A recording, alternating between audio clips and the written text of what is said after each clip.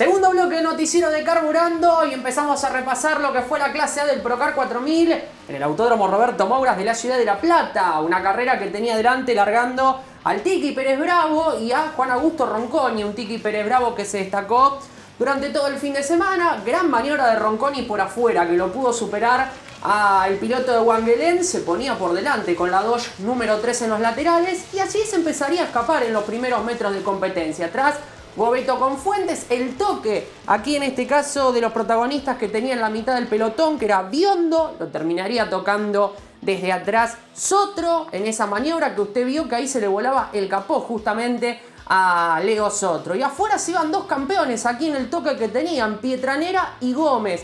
Gómez igualmente iba a poder avanzar después en la situación que iba a tener la carrera ya en la mitad de la misma.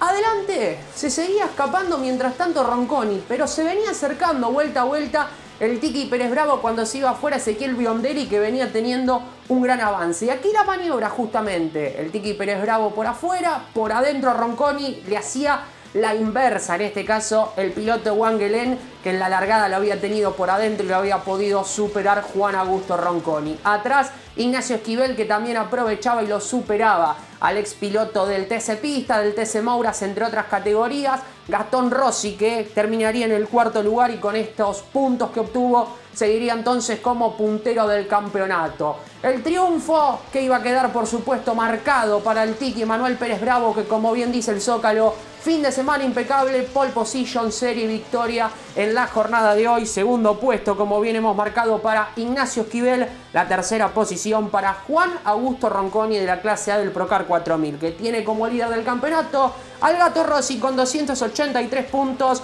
Juan Augusto Ronconi con 270 y Agustín Campillay con 257 puntos y medio. Escuchamos ahora a los protagonistas del podio de la clase A del Procar 4000 eh, en Autódromo de La Plata. Eh, largamos muy bien, lo pude superar por afuera al Tiki en el curbón.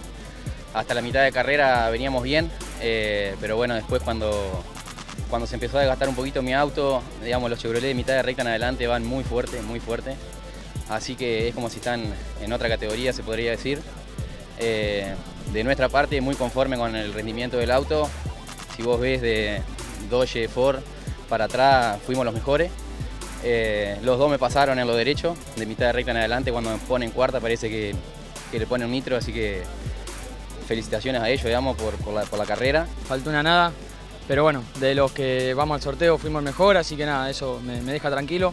De los que estamos peleando el campeonato también, así que nada, Faltó muy poquito para la victoria, que es requisito, así que vamos, tenemos tres tiros más para intentarlo. Cuando venía Ronconi adelante hubo un intento claro, agresivo tuyo para querer superar a mm, Pérez Bravo, ¿no alcanzó? Faltó poco. Faltó muy poquito, muy poquito en la largada intenté, el Tiki se defendió y después bueno, tratamos de pasarlo los dos juntos a, Juan, Juan se defiende muy bien, mañero, el loco, tiene muchos años de automovilismo, así que eh, nada, agradecido por el respeto que él tuvo conmigo.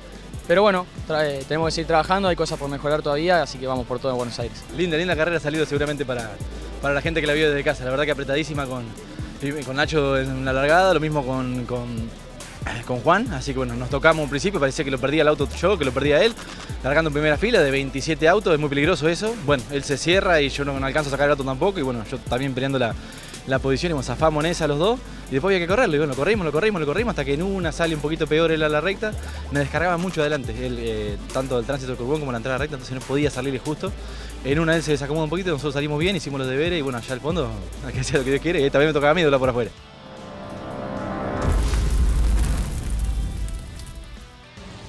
Nos quedamos en La Plata, pero para seguir repasando la clase B del Procar 4000 que tenía en la primera fila a Roque Cagiano y a Magini largando esta final que se corrió en la jornada de hoy, en la previa justamente a la clase A del Procar 4000. Recordemos que la largada lo iba a tener Cajiano dominando prácticamente de punta a punta. Clasificación, serie final, lo que obtuvo el piloto del equipo de José Cepaz Racing. Y aquí un trompo que dejaría varios fuera de competencia. Voy a nombrar algunos. Magini, Quevedo, Antar, Barbieri, Gobeto, Gallo y Andreoli. Después Magini seguiría en pista. La carrera había sido neutralizada, pero hubo varias neutralizaciones de la competencia y por eso estaban muy jugados el tema del tiempo y la cantidad de vueltas. Gobeto que se iba afuera y aquí quien venía complicado Guillet con Magini se iban a encontrar justamente en la pista y Fabricio lo terminaría tocando y quedarían ambos fuera de competencia. El trompo cuando le intentaba atacar en el final, Nereo Quejeiro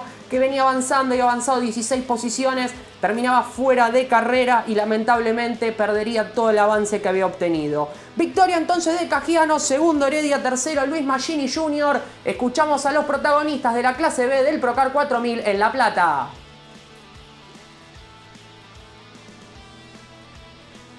La verdad que sí, contento. Volvimos al podio, al tan deseado podio. Eh, como decíamos ayer, después de, tantas carreras, con malas energías, con mala, con mala suerte, de venir de, lleno de roturas y no poder terminar nunca una carrera, la verdad que esto eh, es una alegría muy grande. Sí, tuvimos la mala suerte de que se nos rompe la selectora en la quinta, sexta vuelta. Eh, no fue mucho lo que pudimos aguantar, pero bueno, aguantamos lo suficiente como para subir al podio. Así que bueno, no importa, lo dejo de lado lo de la selectora, la verdad que estoy muy contento. tenía un poquito de temperatura alta, no sabía hasta dónde iba a llegar, entonces empecé a cuidarme atrás de Luis, tiraba un poquito menos de vueltas y bueno, nada, Luis no sé qué problema tuvo, que la selectora lo retrasó un cachito, después con un poco del aire limpia quedó en 85, que no, es mucho, pero atrás de él por ahí iba a ser más. Entonces bueno, nada, eh, intenté mantenerme, una vuelta después de que él se fue, intenté a ver qué hacía con Roque, pero dejando todo no le descontaba nada, así que bueno, era en vano ir a buscar algo que no iba a poder conseguir. Así que nada, a sumar fuerte, a descontar y a pensar en lo que viene, que estamos firmes para el campeonato, cada vez más firmes. Era una, una tarea que, quería cumplir, que necesitaba esta victoria para el equipo, para, para mi vieja en especial, que estamos pasando una situación complicada, la tengo enferma la vieja, así que esta victoria para ella y bueno, nos recuperamos, podemos dar, pudimos dar batalla, hacía un año y medio que, que en los titulares un Ford no podía ganar. Así que nada, acá estamos dando batalla y todavía estamos con chance, así que vamos a dejar todas las últimas fechas que quedan para pelearla.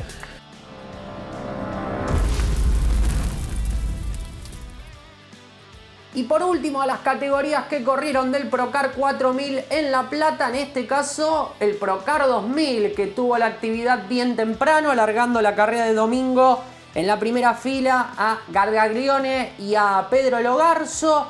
Adelante no pasarían muchas situaciones de la carrera. Lo que estuvo muy entretenido fue la pelea por el segundo lugar, que lo tuvo a la Costa y a Logarzo. Ahí justamente la Costa se va a poner en la segunda posición. Después se recuperaría Pedro Logarzo y por eso saltaría al segundo lugar. El toque entonces en el fondo entre Gruccio y Nicolás Alonso. Quedaban complicados ambos protagonistas y ahí lo que marcaba. Fíjense cómo se van encontrando, iba buscando la costa a Logarzo y finalmente después lo terminaría adelantando. El trompo de Serafín Sapienza que no tuvo un buen fin de semana, visitó varias veces la banquina en dos oportunidades. Esa fue la primera, en un ratito usted va a ver la segunda situación y aquí sí lo pudo superar finalmente la coste a Logarzo para saltar entonces al segundo lugar. En el fondo viene aquí lo que marcaba de Sapienza, el otro trompo que lo tuvo muy complicado al piloto del auto número 6 en los laterales y atrás también habría otra situación entre la dupla que tienen Fontana y Farielo con Mariano Jorge. La victoria entonces de Jorge Gargaglione, segundo Lacoste, tercero Logarzo. Lo escuchamos al ganador, Alexander Gargaglione.